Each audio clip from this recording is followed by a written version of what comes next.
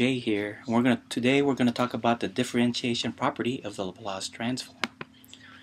We're gonna use an example in which we proved the differentiation property in a previous video that the Laplace transform of the derivative of function f of t is given by s times f of s minus f0 which is just the initial condition of our function f of t.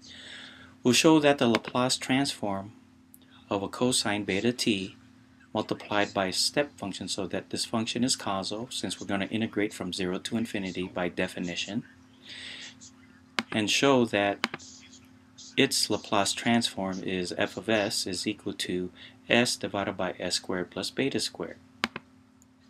We also note that the cosine of beta t can be described by the sine of beta t where we take its derivative and scale it in front of it with 1 over beta.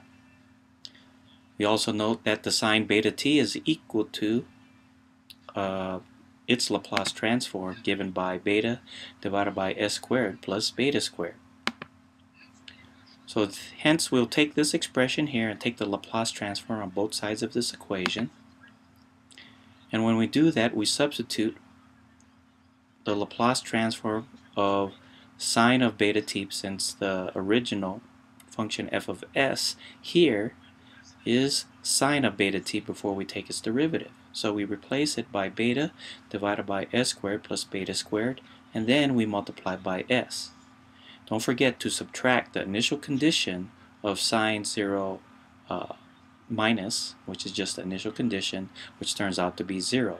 Hence what we have is that the Laplace transform of cosine beta t is equal to s divided by s squared plus beta squared.